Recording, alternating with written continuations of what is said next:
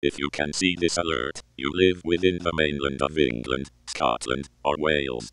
You must pay close attention to this alert. Within the next 24 hours, the mainland of Britain will be destroyed, and you must evacuate before then.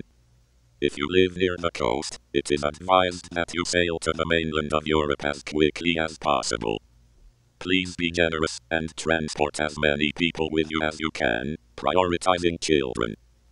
If you live far from the coast, you should seek high ground, as such a location may be more safe from the oncoming destruction.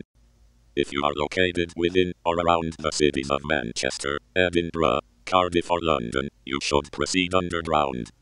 A series of underground shelters called UnManchester, Un Edinburgh, UnCardiff, and UnLondon will protect you from harm.